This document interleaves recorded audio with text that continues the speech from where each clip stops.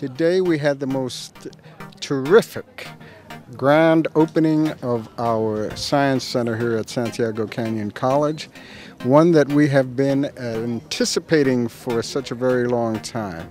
It's taken so many years to get to this position, and here we are in a brand new, beautiful building with everybody excited students, faculty, administration, the board, the community. We're just so excited about being able to get this done. This particular building was built uh, a little bit over half under Measure E money back in uh, 2002. We passed a, uh, a bond measure. The community passed it overwhelmingly that allowed us to build uh, buildings throughout our district, and, and half of this building was built uh, using that money. But we also, there was another bond measure that passed in the state of California that helped fund the rest. And so you can see what we can do, and we have the funds to make it happen for students. What it does for students, uh, you know, this changes lives. Uh, they're going to have jobs and families, and, and people will remember this uh, great college as a result of uh, their their time here in this building and in the other buildings that are here on this campus. And uh, so I'm very, very pleased with everything that we've been able to accomplish.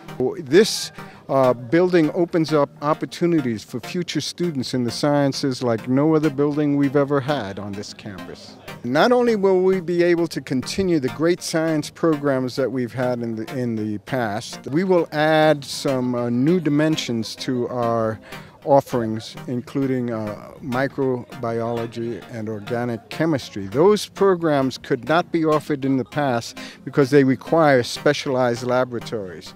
This building has those laboratories, and we look so forward to using those labs and training students to go on into the more serious uh, parts of uh, science. What I thought was very inspiring about this building and its program was the fact that the sciences are based in uh, the observation of nature.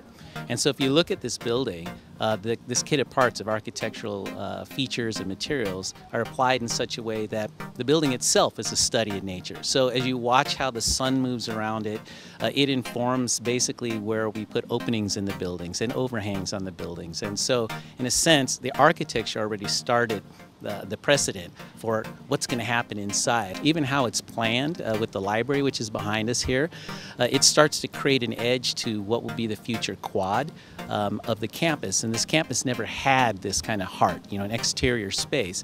And the humanities buildings, which is next, is a mirror copy of this building. It actually is one story higher, but it will extend that edge along the quad and really kind of create a very amazing place on campus. The designs of the buildings that we've had, and uh, from the library to our student uh, uh, uh, services building to the uh, science center have been absolutely beautiful buildings. We get comments all the time. I get people stopping me saying, who built those buildings? Who designed those buildings? And so uh, I, I, think I keep an LPA card in my uh, lapel pocket just to let them know